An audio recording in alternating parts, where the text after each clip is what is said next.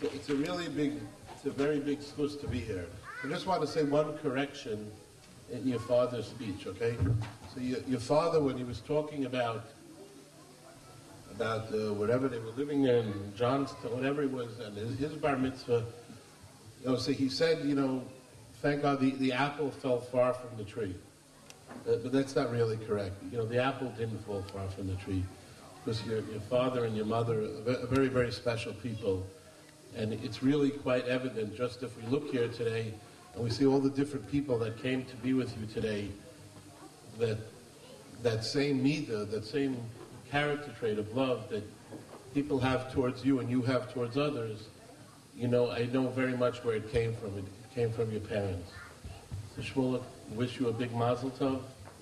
There's B'ezras Hashem, that wine that your father got 20 years ago from the Lubavitcher Rebbe is going to be used under the chuppah of your chasana, B'ezras Hashem, and then you're going to save a little more, and it's be used at the bris of your son. Okay? Mazel tov, Shmulik.